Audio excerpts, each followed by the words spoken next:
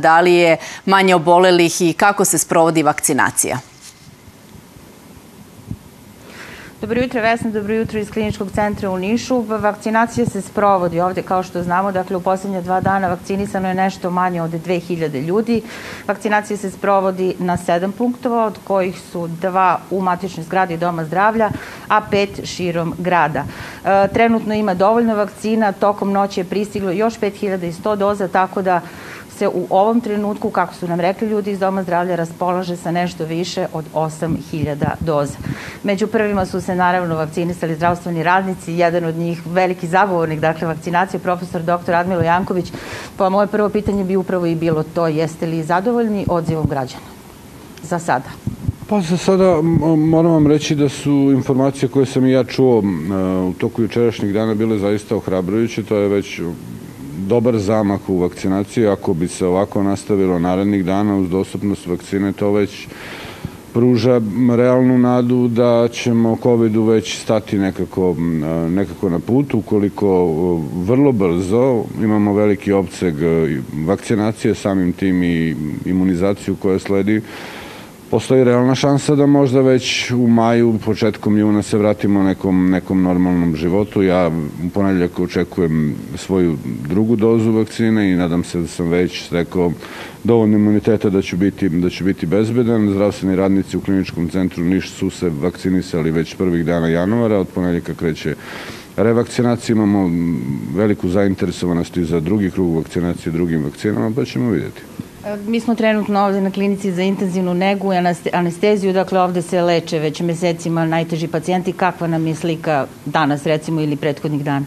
Da, gotovo 11 meseci. Mi smo neposredno nakon nove godine imali otprilike neke ohrabrujuće naznake jer je broj pacijenata počeo da pada, ali Taj trend se nažalost nije nastavio. Mi i dalje imamo dosta veliki broj pacijenata, čak 44 njih u jedinici intenzivne nege. Imali smo dosta prijema prethodnih dana. Broj pacijenata i u okolnim bolnicama zaista pada i e, ali neki jasan trend pada se ne uočava i nije tako drastičan kao ono što je bio u, u avgustu i septembru kada smo vrlo brzo imali smanjivanje broja, broja pacijenata i prelazak u da kažem ne covid režim još uvek znači u kliničkom centru u stacionaru 140 40 u intenzivnoj nezi. Je to očekivano za vas? Pa ja sam se, da vam kažem, nadao da će taj trend biti malo uh, užurbaniji, da će broj pacijenata ovaj, padati sve više. Imamo 80 pacijenata u privremenoj bolnici u Kruševcu. U svim ostalim bolnicama još uvek dosta zauzetih kapaciteta, znači oprez je apsolutno neophodan. Mere, uh, distanca, nošenje maski narednih meseci apsolutno su prioritet i što je pre moguće obsežna vakcinacija i onda imamo šansu da zaista već onako krajem proleća i na lete pričamo o nekim, o nekim drugim temama i da temu COVID-a stavimo nekako adapta. Samo još jedno kratko pitanje, dakle kad go, spomenuli ste mere, mislite na one koje sprovodimo mi sami ili na ove opšte važeće mere? Mislite da je eventualno vreme za razgovor o nekom popuštanju ili ne? Vi kao lekar koji radi s teškim pacijentima. Znate šta, bilo kakvo popuštanje mera znači povećanje broja zaraženih i znači povećanje broja, nažalosti, hospitalizovanih i onih koji će preminuti. Znači, to se neće menjati.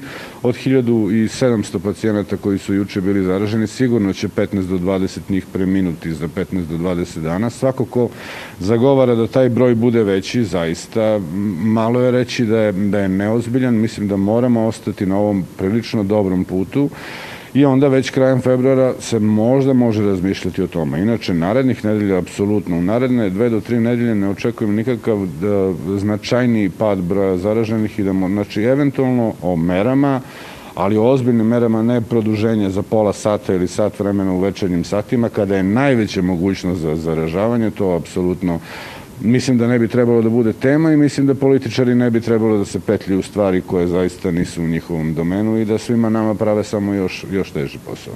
Hvala vam najlepše što ste govorili za jutarnji dnevnik RTS-a. Ja bih Vesna za kraj samo da se još jednom, da spomenemo vakcinaciju. Dakle, mogu da se vakcinišu i građani koji se nisu prijavili, mogu da dođu u dom zdravlja ili na neki od ostalih pet punktova i da se vakcinišu, a njihovi podaci će biti ubačeni elektronskim putem na licu mesta.